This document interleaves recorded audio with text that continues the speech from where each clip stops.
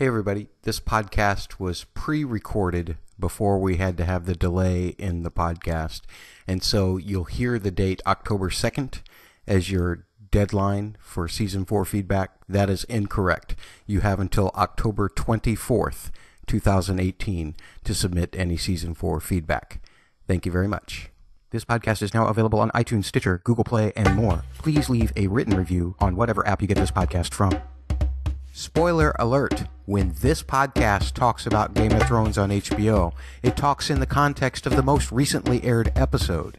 And when it talks A Song of Ice and Fire books, it talks in the context of the most recently released book by George R. R. Martin. You've been warned. Dedicated to HBO's Game of Thrones and George R. R. Martin's Song of Ice and Fire book series. You're listening to Matt's audio blog. Game of Thrones.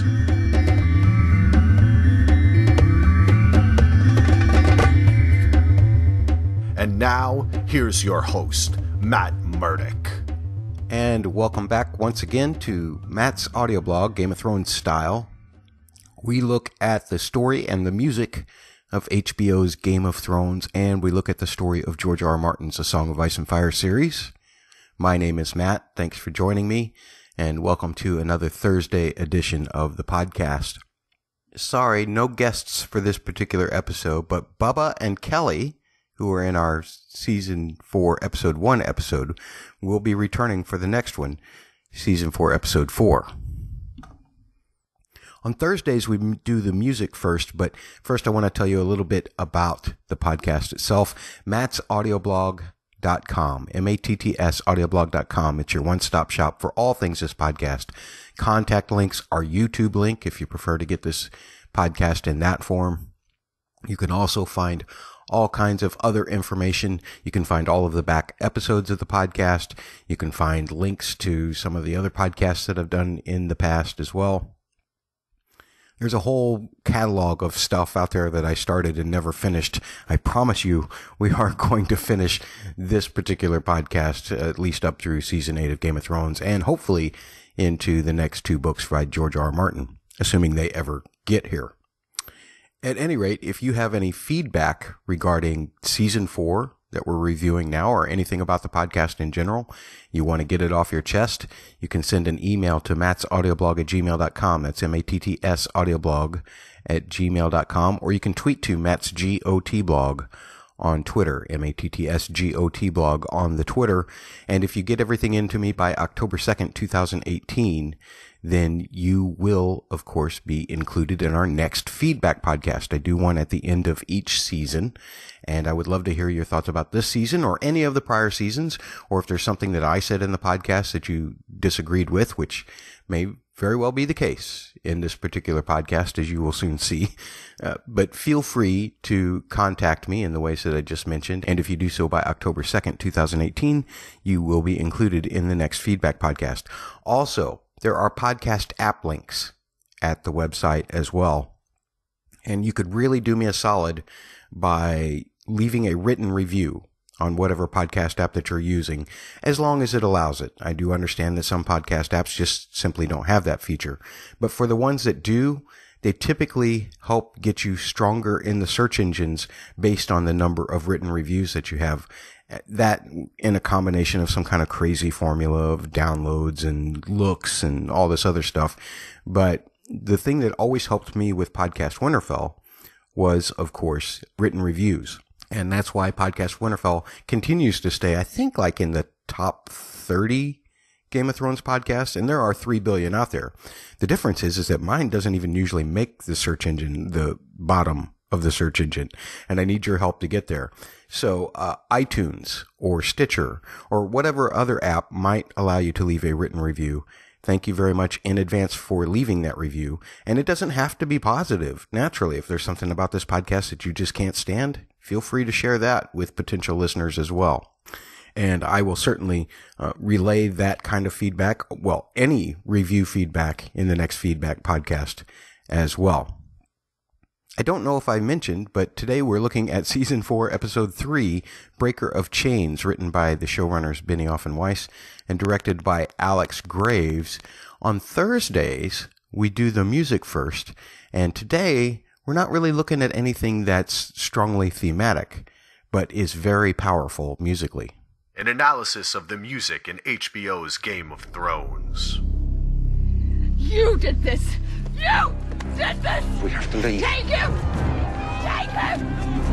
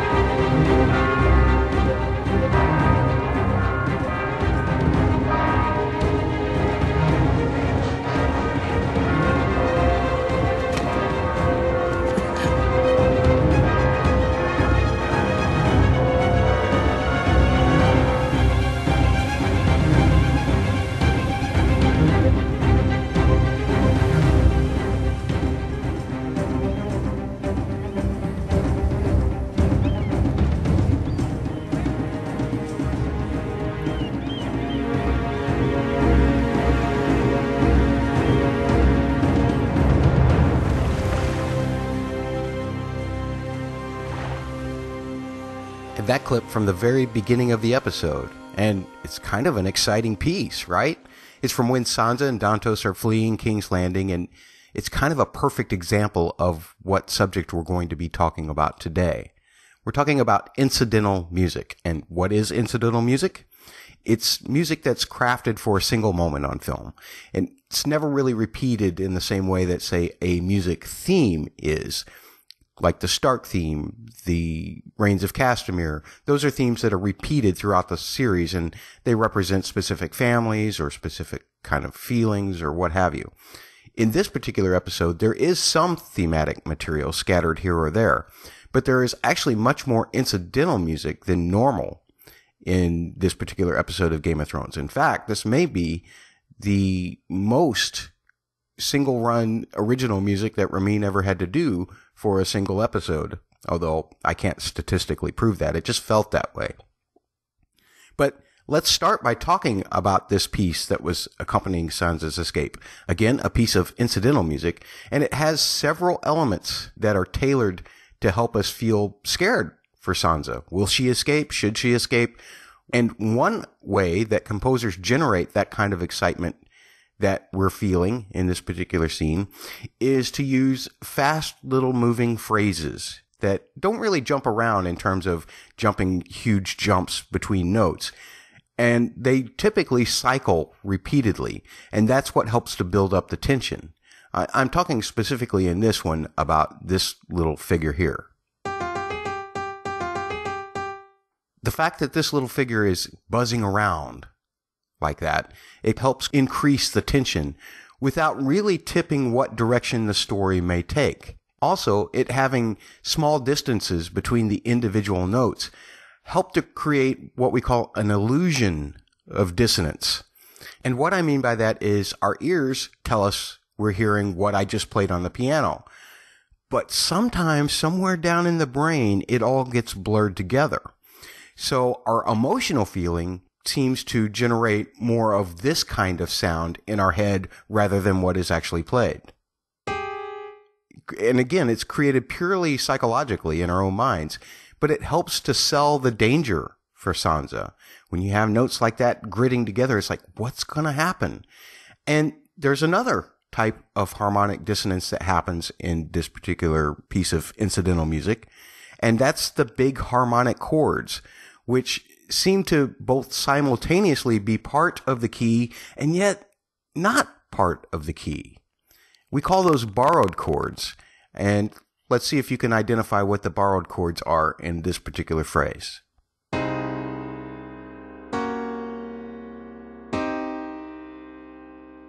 Okay, so while the final chord definitely resolves to minor, and of course minor makes things seem scary in this particular case, it's the other two chords that actually create the tension against the lowest note, the bass note.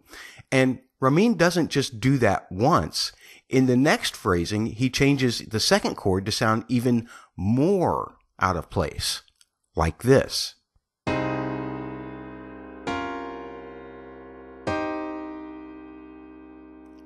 And in a very similar way to the moving line kind of blurring together in our head, this second chord creates a second dissonance that actually is almost identical to the moving line, just in a different place. This time, the dissonance comes in straight correlation to the home key of the piece. So you get this sound. It's really ugly, right? And that ugliness translates in our mind to something being abnormal. And of course, there's nothing more abnormal than danger, right? We all want to be safe, so it's abnormal for us to feel danger. But the cue itself then shifts gears once more once Sansa's out on the water. Remember, it's foggy, it's mysterious. Where is Dontos taking her? And so we get some really low dissonances in this next clip like this. Proximity of lower pitch or higher pitch can elevate or cloud the tension. The tension is still there, but in this case, we wouldn't know exactly what to expect. It's so foggy, we can't see anything. We can't even see where they're going, right? And so it creates an air of mystery. And when you have lower dissonances like that, it makes things muddy. And the muddiness doesn't necessarily be as pronounced as, say, in the first clip that we heard. Um, we just get the mystery. So, see if that makes you feel this way as we listen to Sansa and Dontos going across the water.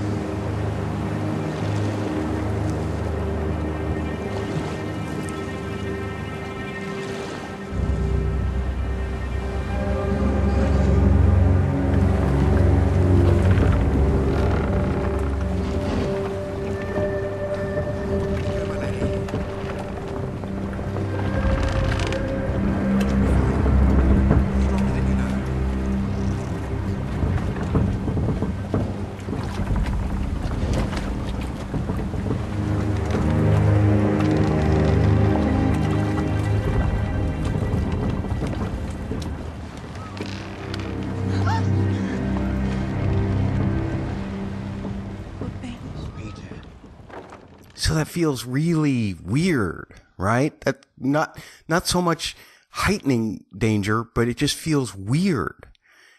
And then, of course, Littlefinger pulls her in and they have their little talk and the whole necklace plan is slowly revealed. And as Littlefinger is talking, there is a slow version of the Chaos is a Ladder theme. But obviously we can all already recognize that theme when we hear it. And we're talking about incidental music today, not thematic. So let's move on. And we're going to jump from the beginning of the episode to the end and cover the music that accompanied Dany's approach to Meereen. Now, there is only one common element between the approach itself, the incidental music, and anything that is actually even associated with Dany. That commonality is the meter of the piece. A meter is how many counts are in each measure or musical phrase. And it's dictated in this particular part by the drums. And in this case, the mixed meter is of five counts, similar to the Unsullied, or sometimes we call it the Dracarys theme that we heard in season three, episode four. Here's the pulse in the piece that's coming up to listen for.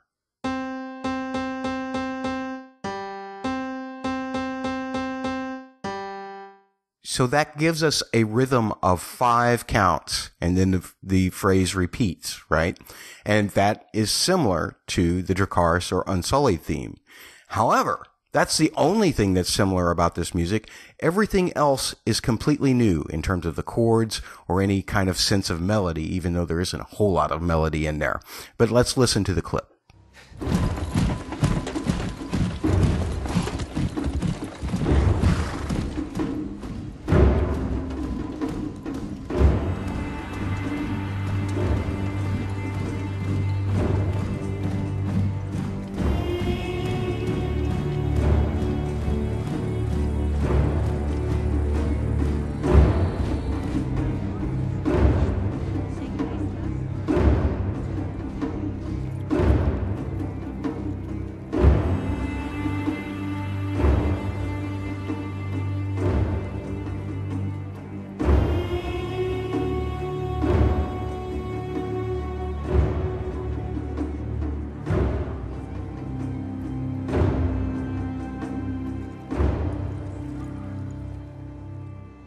So, a new music. Maybe you could call this uh, Dany's first impression of Meereen, but either way, it doesn't ever really repeat itself in the same way as we hear it here.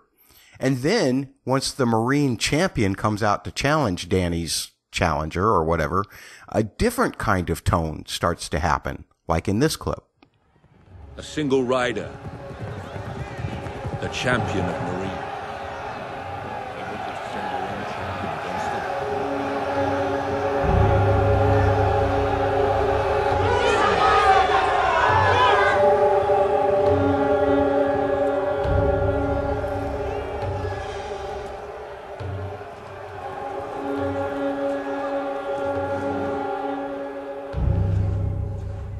So just like in the scene with Sansa where we had those big chords and they created a, an illusion of dissonance, here we have the higher sounds in this part of the piece that are creating the dissonance against the bass note.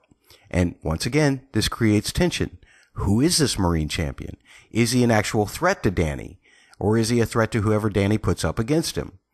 Now, while I don't need to go through those chords again, just so you know, it functions the same way as we first heard in the Sansa piece. So let's move on to the middle of the episode. We've covered either end. Let's jump back to the middle. And we're going to go to where Tyrion realizes that he must convince Podrick to leave town in order to save his life. I don't need to break this down so much. You'll hear it and you'll feel it the same way that I do once you hear the clip. But it's a nice sentimental piece. Again, it's not thematic. It's not something that we hear repeated over time and time again. It's just designed to tug at our heartstrings as Tyrion must say goodbye to Podrick. And in this case, you'll hear minor chords, once again, adding to our feelings of sadness, as opposed to major chords, which would make us feel happy. We also have the warm timbre, meaning the sounds of the instruments that helps to tug at our heartstrings as well, specifically the strings. And this is really a lovely little piece, but I don't really feel it needs to be broken down or analyzed. I just want you to hear it and understand that it's, again, incidental music, not something that we hear on a regular basis. The trial's in a fortnight. They want an answer before that. Already gave them an answer, my lord. I will not have you die on my behalf. Do you hear me?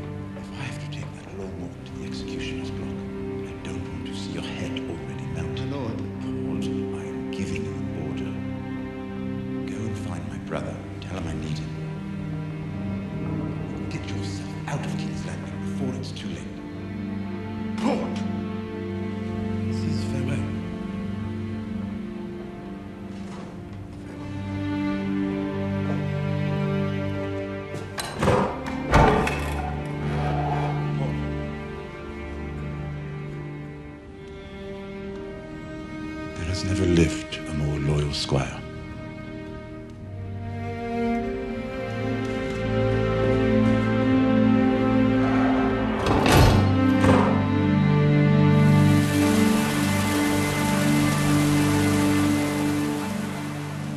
That's really lovely. I mean, it, it does accompany this scene so very well. But finally, we get to the scene with Jaime and Cersei and the Sept. And believe me, I have plenty to say about this when we get to our story section. But I do feel like Ramin captures what was the true intention of the showrunners. Regardless of what they say, they wanted to create ambiguity and discomfort. And Ramin toggles between major chords and minor chords to create that ambiguity. You're going to hear them toggle mainly between the thirds of the chords, creating either major or minor. And that's what creates the ambiguity in the chords. Not only that, but a lot of low harmony, like we just talked about, which creates a lot of muddiness. We get everything very muddy. It's all this muddy mess of music that the discussion after this episode actually aired seemed to be. We were having a muddy discussion about this. Some people were saying, well, the showrunner said it was supposed to be consensual. and other people were saying, but yeah, but look at what actually happens. And I'm going to discuss all of that after you hear this clip. But I want you to really listen to the music and tell me what you make it makes you feel about the scene. And you'll see that that's what Ramin was feeling about the scene as he watched it. He felt just as conflicted to score it as we did to watch it. And we'll begin our discussion of season four, episode three, Breaker of Chains, written by the showrunners Benioff and Weiss and directed by Alex Graves after the clip. You're a hateful woman. Why have the gods made me love a hateful woman?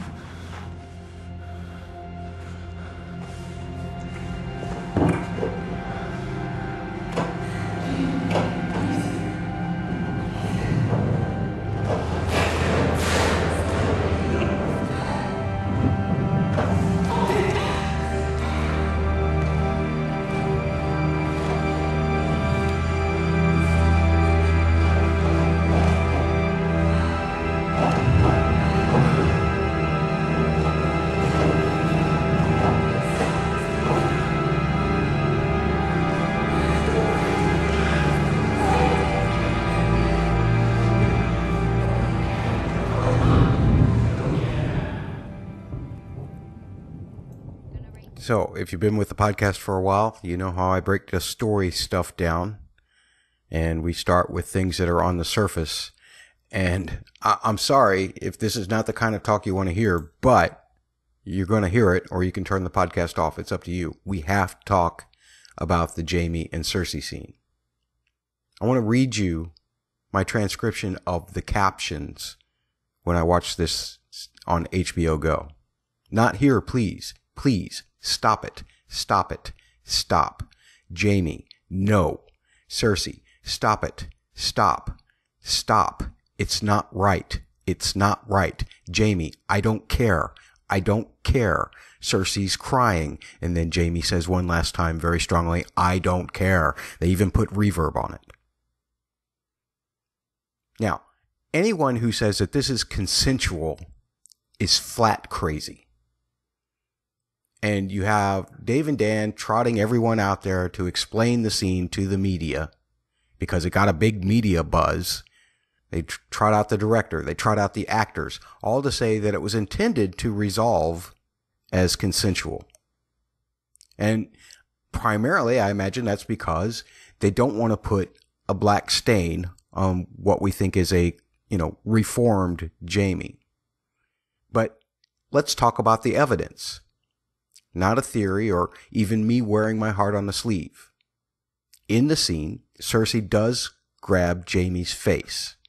Not in a manner of self-defense. She's not pushing him away. She actually grabs his face. And that's when he's ripping her dress.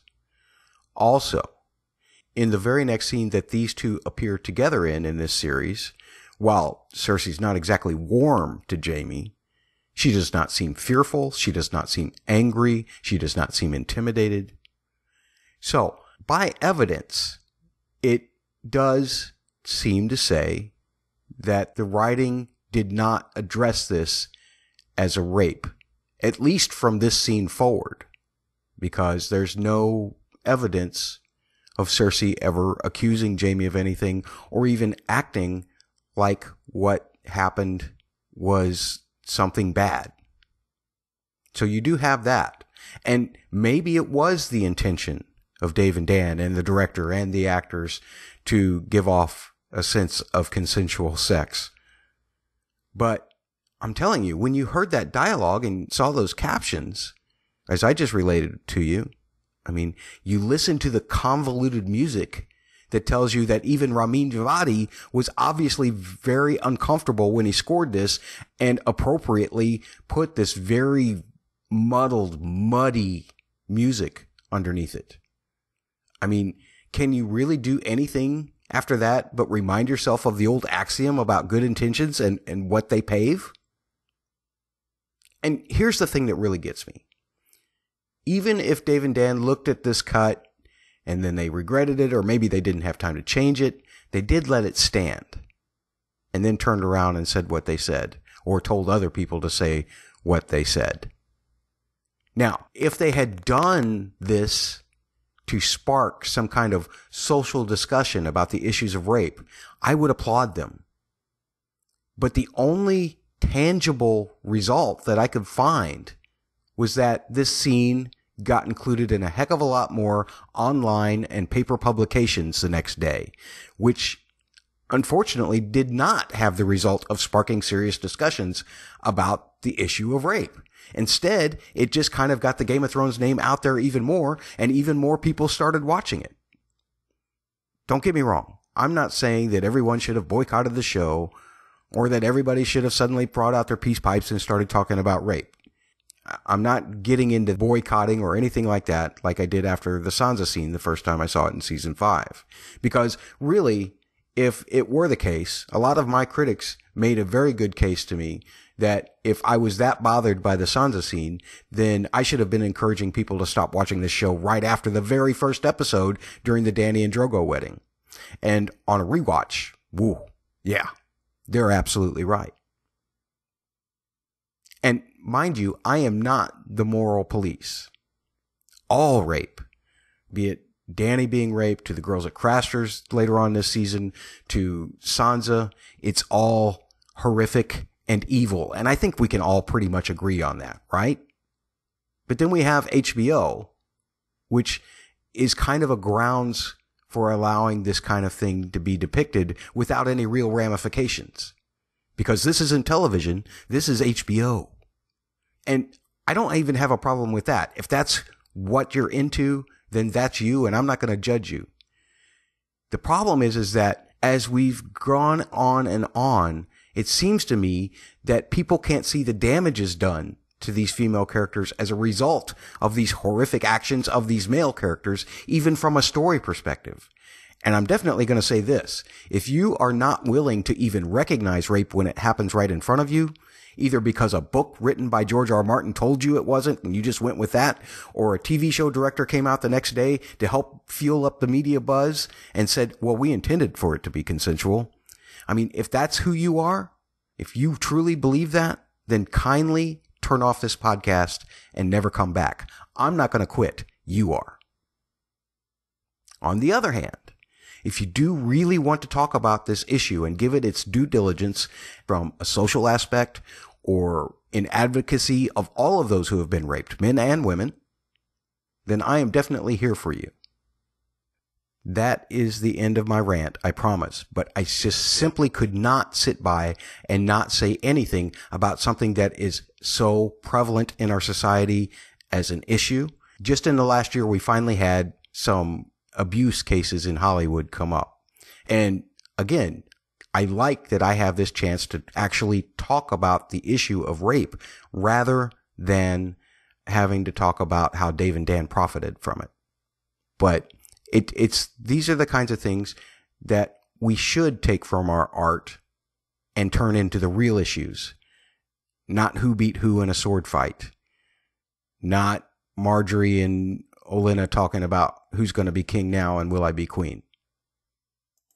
And with that rant over, let's move on to some other things on the surface for me before we get into my three big things. Sansa's escaping was very exciting. And uh, as I already talked about in the music cue, I mean, I loved it. It was, it had a great amount of tension. The adding of the fog, which I, I guess for you people who count soldiers or whatever, why was there suddenly fog? I get it, you know, but I loved the way that it created an ambience of mystery. You know, all of that just hit me really well. And then, of course, the reveal that it was Littlefinger. Now, mind you, when I watched season four, I had already read all of A Storm of Swords. So I knew that it was going to be Littlefinger somehow, one way or another, getting her away f- from King's Landing. I didn't exactly know how, but I did know that that was going to be the case. So I didn't experience the surprise that some TV only people did for that particular scene, but I loved it on an emotional level just the same. And of course, something else I always love on an emotional level, going from Sansa, who is one person who I will draw my line in the sand for, to Sam and Gilly, who are two other characters that I will always draw my line in the sand for. All of the Sam and Gilly scenes were so wonderful this time around, especially when they were working on the geese, on defeathering the geese. Ah, they both so desperately want to tell each other that they like each other, but they just can't find a way. So it just becomes this awkward mess. It, it, it's beautiful. I, I absolutely love that. And of course, I'm heartbroken by the fact that Sam feels like he can't protect Gilly at Castle Black. Unlike the way he could protect her from the White Walker, she thinks that he's some kind of big hero. I mean, he just got lucky. He just got, he was so desperate that it was the only thing he had left in his hand and he just went after it. He was willing to die. And that is admirable. That is very admirable, of course. But he was willing to die and he got lucky. He got lucky that that happened to be the one thing that could kill a White Walker. But it doesn't help Gilly in her case because she's now feeling like she's being abandoned again. I, I can only imagine that Mole's Town probably feels to Gilly not a whole lot unlike Craster's. She's already getting trouble because she can't keep her mouth shut about where she's from. But I mean, what is she supposed to say? She doesn't know any of these cities south of the wall. She's never been south of the wall. And so she just says, I'm from north of here. And of course, that girl comes right up with, Oh, you're a wildling. Now, obviously, it doesn't come out to be that much trouble for Gilly because we're all rewatching this series. We're not watching it for the first time. At least I hope. If, if you are watching it for the first time, ooh, maybe go back and listen to the old podcast Winterfell reactions to this and then come back and, and listen to these after you've rewatched uh, the entire series. At any rate, um, the Sam and Gilly stuff was wonderful. Absolutely loved it. I also really loved the Oberyn Tywin meeting. That was awesome. It had great tension in it. And even to a non book reader or a first time watcher, it pointed to all kinds of possibilities. You know, you have Dorne's history of fighting the dragons mentioned.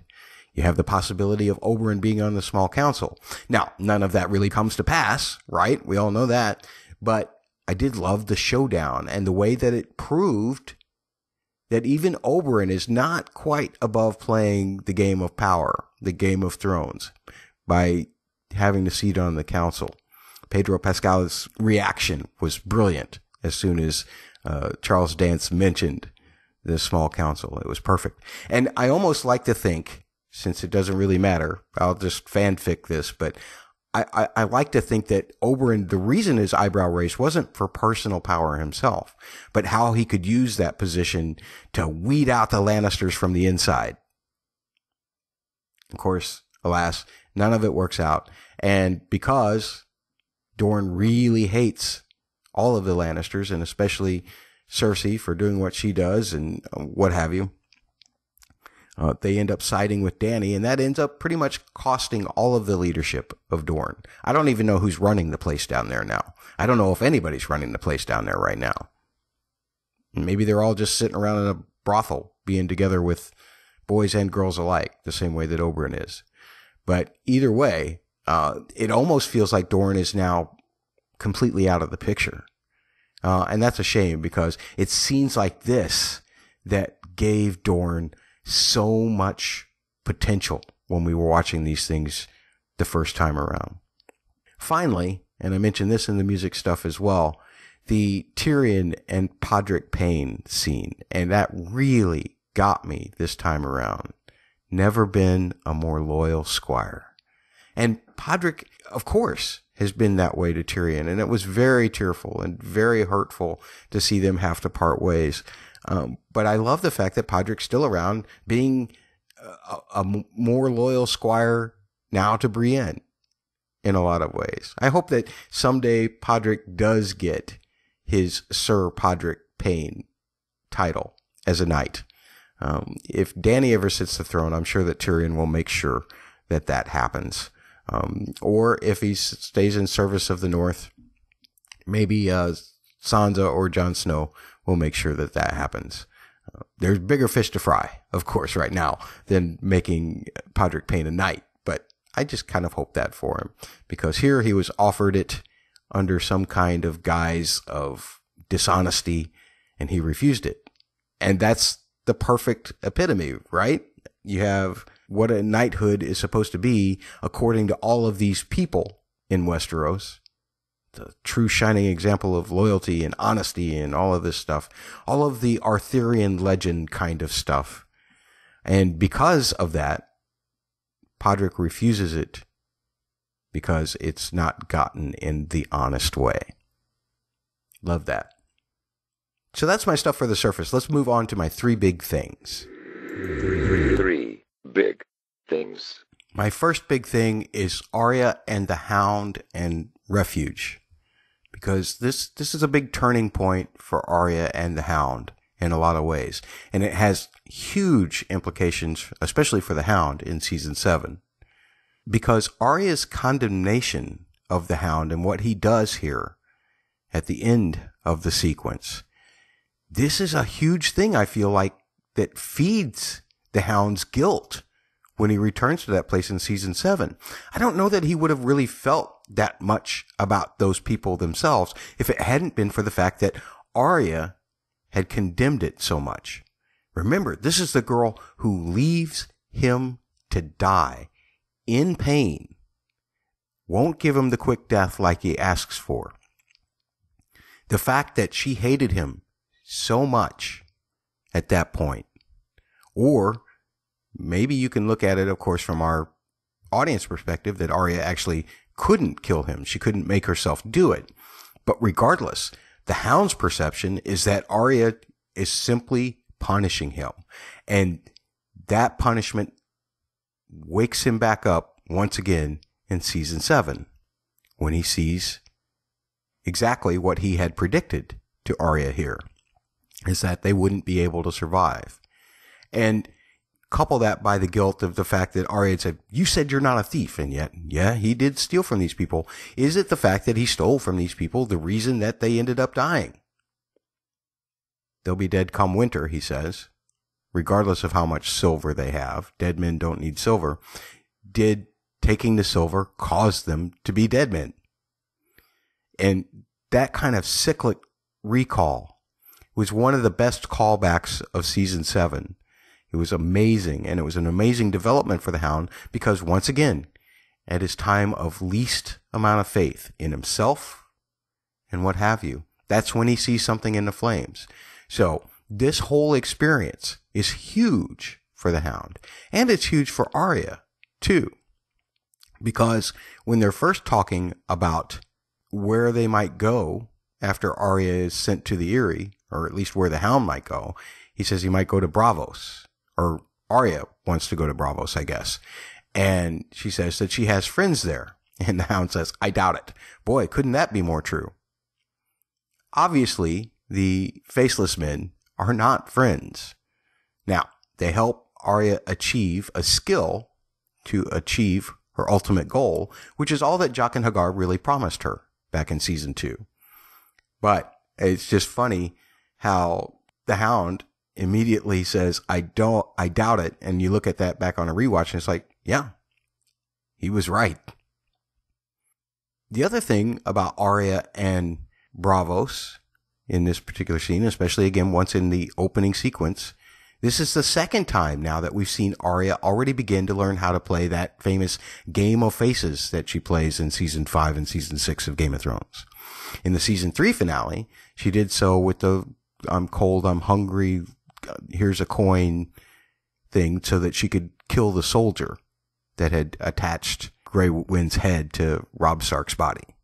And then here, she does this whole little skit about the hound being her father and correctly analyzing that uh, she should say the Tullys of Riverrun in order to gain their trust. And they end up getting a free rabbit stew out of it. And uh, it, the surprise that she has when the hound says fair wages for fair work, he agrees to it.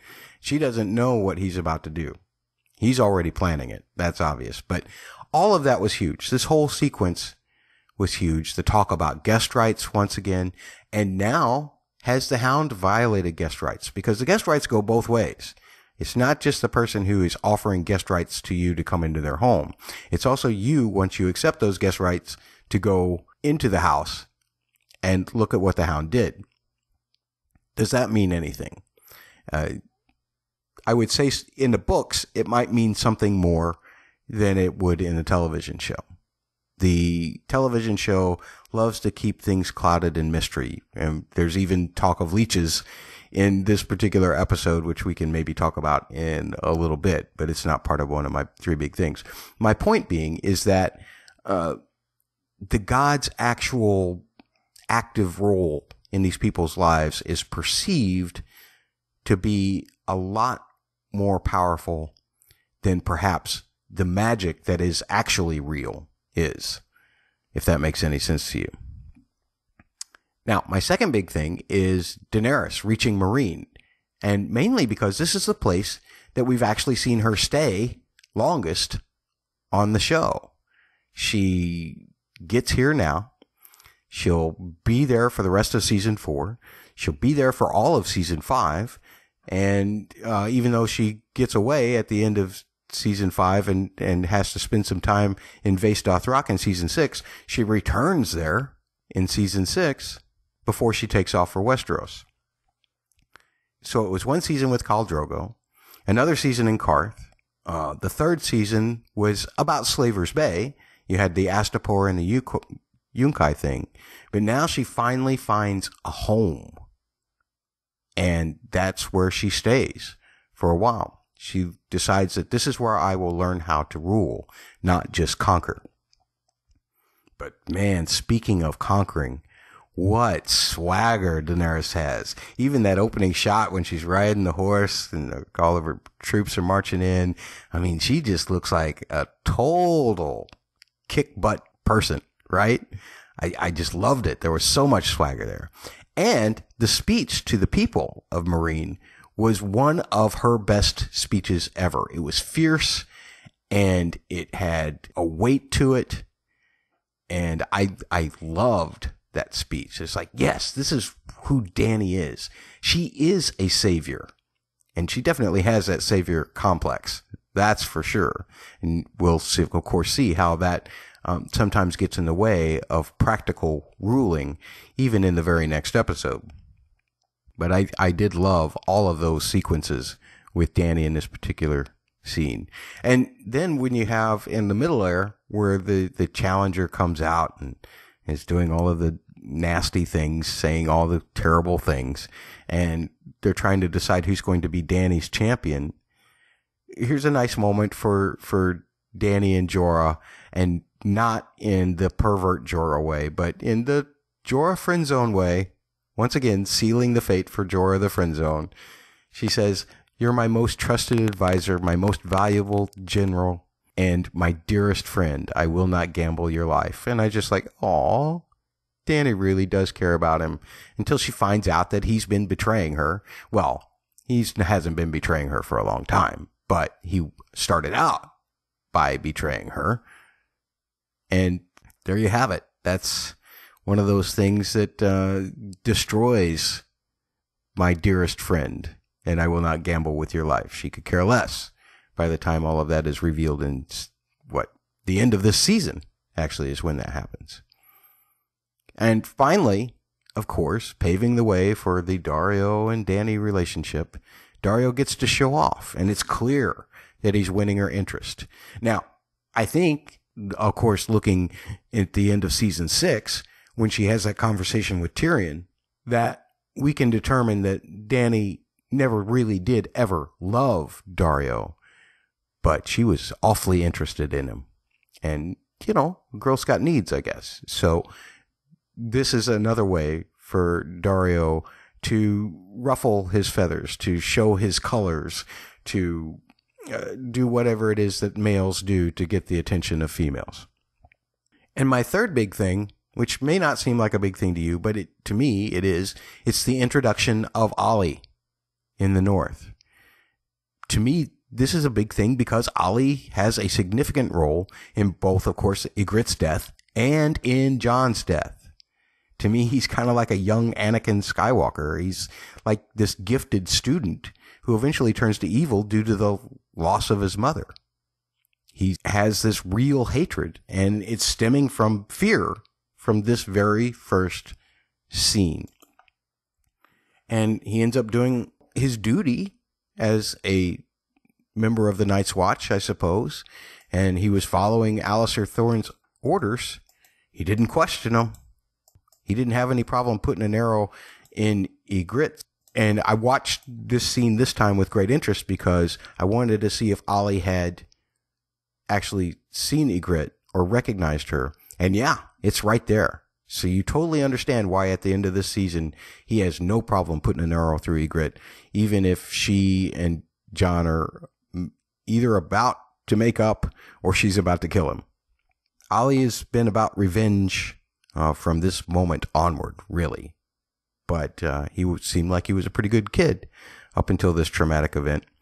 Um, you, do we make a comparison with Arya? Was she a pretty good kid up until they killed her dad and up until they took all of her friends away and up until they killed her brother and her mother? I don't know. Is Arya still a good person now? I don't know. Is Olly still a good person now? No, Olly's dead. But it still felt just a little bit heartbreaking when Jon had to hang Olly. So those are my three big things. I do have a question for this particular episode. Questions. And that question turns to the Davos and Stannis side of the story. We get the second leech drop, and don't worry, the question is not about the second leech. But Stannis is growing incredibly impatient with Davos. Davos can't put an army together, seemingly, for him. And Stannis says this If I do not press my claim, my claim will be forgotten. I will not become a page in someone else's history book. Now, back in season two, when Stannis was trying to take the Iron Throne and the Battle of Blackwater happened, he seemed to be all about what was right. Yet he was already doing some not necessarily right things with Melisandre and her magic in terms of like Renly and what have you. And he went and lost the Battle of Blackwater. He did not have the Red Woman, and he's always kind of blamed Davos for make, convincing him not to have the Red Woman with him. But now that he's been sitting, brooding on Dragonstone for a while, and he's all upset because Davos let Gendry go once again, because evidently the leeches are working, at least as far as Stannis is concerned. But he says this whole thing about if I do not press my claim, my claim will be forgotten. Is this the key to Stannis becoming more and more radical in terms of what he is willing to do? Is it the fact that the leeches are working that convinces him that it's okay to burn his own daughter? What do you think about that? Is is it his impatience and the fact that he feels the leeches are working that is really the linchpin for him being able to even kill his own daughter? And that doesn't make it right, obviously. It's horrific. It's murder. And it's awful. But can we on a rewatch start to see more and more and more of Stannis's decline from season two through his end to season five? Is is it more apparent about how more desperate he's becoming? And is a thought like this just as much a part as the whole Gendry leeches thing working that causes Stannis to become the most horrific of parents? So ponder on that question, and we'll get to my tidbits. Tidbits. And these are just other small little points that will figure into future episodes. And I'm going to stay right here with the Davos and Stannis conversation. Davos mentions the Golden Company here. And Stannis says, well, he doesn't like sellswords. And it's not clear to me that the Golden Company was the sellsword company that Davos hired, but Stannis certainly has a pretty big army when he goes up north of the wall at the end of this season. So whatever sellsword company that they did end up hiring for the end of this season, that company does end up abandoning Stannis at Winterfell because of what he does to his daughter, more or less. Again, we can't say it's the Golden Company that he hired. I don't even remember if the name of whatever sellsword company that Stannis hired is mentioned or that Davos hired is mentioned. But Stannis, in a way, is correct. They end up betraying him and it ends up causing his death. Although, if I was a sellsword guy, I wouldn't want to work for Stannis either. I'd be make getting the heck out of there in the course of the night myself. But here's the linchpin, and that is that Cersei also intends to hire the Golden Company for her army. She talks about that. She's even sending uh, Euron Greyjoy to Essos to go get them. So, is Cersei's fate possibly sealed by the fact that she is going to trust a sellsword co- company? As far as we can tell, Daario's second sons are the only ones who have actually been loyal to anybody, and that was to Dany. And I don't even know if she's actually, I don't think she's actually even using them now. She has her Dothraki, she has her Unsullied. I don't, I guess she probably left the second sons back in Essos to look after the lands on Slaver's Bay under the leadership of Daario? Is that what has happened? And will this end up biting Cersei in the butt the same way that a sellsword company ended up biting Stannis in the butt? Davos also mentions the Iron Bank. That comes into play again. Uh, and Davos has Shireen li- write a letter. Well, in just a couple episodes, we're going to have Davos and Stannis going to the Iron Bank trying to get some of that money so that they can hire a sellsword company. And we've seen where all of the Iron Bank stuff ends up. There was a mention in the last episode, The Lion and the Rose, where Olenna Tyrell tells Tywin Lannister that she has a feeling that Tywin will be asking for her help in regards to the Iron Bank. Well, Olenna does actually end up helping with the Iron Bank, just not in the way that she thought. Her death and the looting of Highgarden is it what ends up paying the Iron Bank back. And then Cersei turns right around and borrows against it again and uh, to get her own sellsword company. So all of that stuff is stuff that's still going to be coming into play. All of the little mentions that we see in this episode uh, will play a huge role and may yet still play a huge role in season eight. As far as North at the Wall, we talked about Sam and Gilly, but the other part we didn't talk about was Grenn and Edd getting back. And of course, this sets up the whole Craster's Keep showdown here in a couple of episodes, which we'll be covering. Jon has this whole thing about how we can't go help anybody down south of the wall, but we have to go north of the wall because it might militarily give Jon's lies away.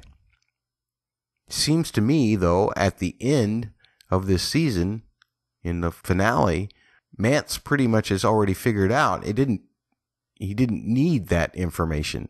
He had set up everything to be able to figure out that information for himself all in one night and then he was already starting actions uh, to get around this small band that Jon had lied about. So, uh, is it an exercise in futility? I, I, guess you can look at that. I, I know that critics like to say, well, this story didn't mean anything, it didn't go anywhere. On the other hand, there's lots of things in life that end up not really meaning anything. It's actually a very fairly realistic concept that we do all these things, we make these plans, and then none of it works out. Or it wasn't necessary. So I don't ever mind that aspect of it. I mean, yeah, I like to be entertained by my stories. I like for everything to mean something, but not everything in the world means something. So I kind of appreciate that. One other just little tidbit from North there is when Pip says, I don't think I can kill a 100 wildlings.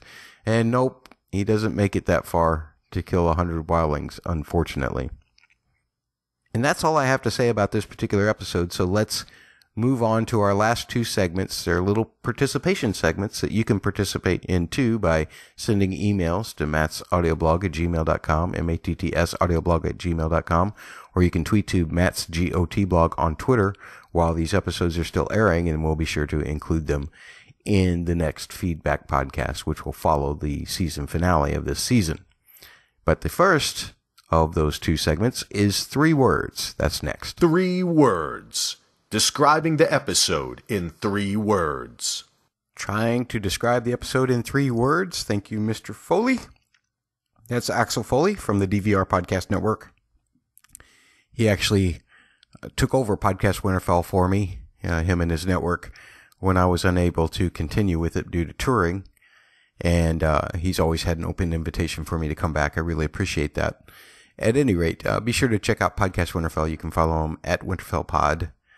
Uh, also, my friends Bubba and Kelly, feel free to follow them on Twitter. They were on an episode. And Stephanie, she would have been on an episode by now as well. You can find Bubba at Fit and Trim on Twitter. It's F I T T E N T R I M. Have to spell it because he always does. Or the double P is it is it DP Media or double P Media?